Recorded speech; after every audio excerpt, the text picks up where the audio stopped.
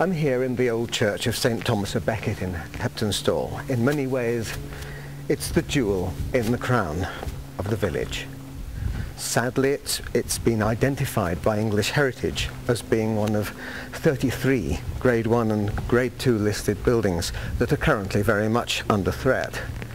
But I'm here not to talk about that, but to introduce you to an old friend. You've probably been in this church many, many times before and never met her.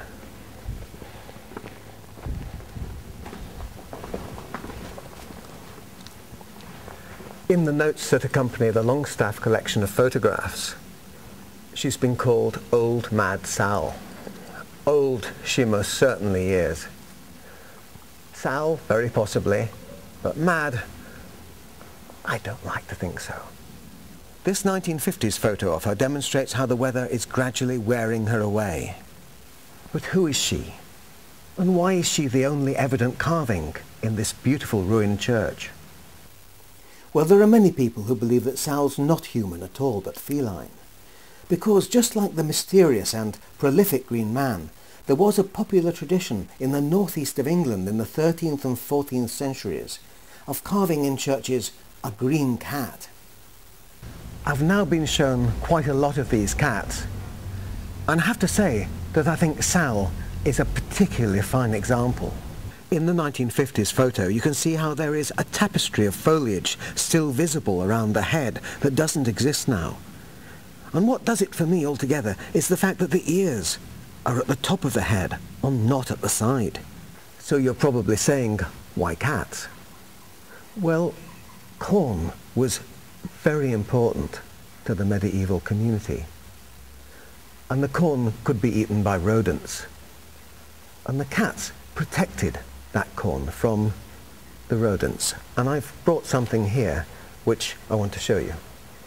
I've had this corn maiden many years and I have to protect it from mice all the time. And I think the cat is a symbol no less vibrant than the green man himself. So how did Sal survive the soldiers of Oliver Cromwell's time? Well, Heptonstall people were a canny lot, and when the soldiers were dispatched in 1572 to smash the organs in churches all over Britain, they arrived here and they found that there was no organ to smash.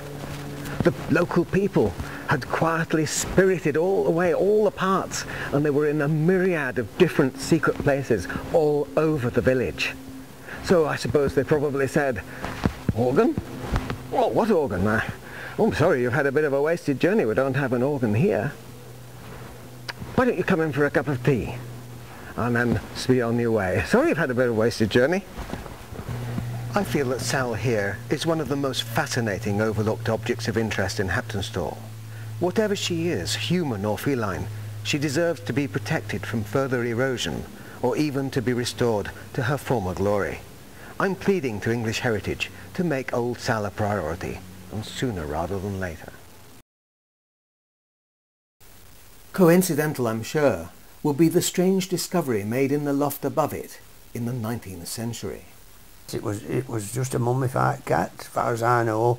Somewhere it, it must have been in the rafters. It got itself in, and whether it was trapped or whether it uh, just died, but I believe it was in a glass case in the cross inn for, but and they called it uh, Heptonstall Lamb, I think, or something like that. I've read about it somewhere, and, uh, but I never, I never saw it.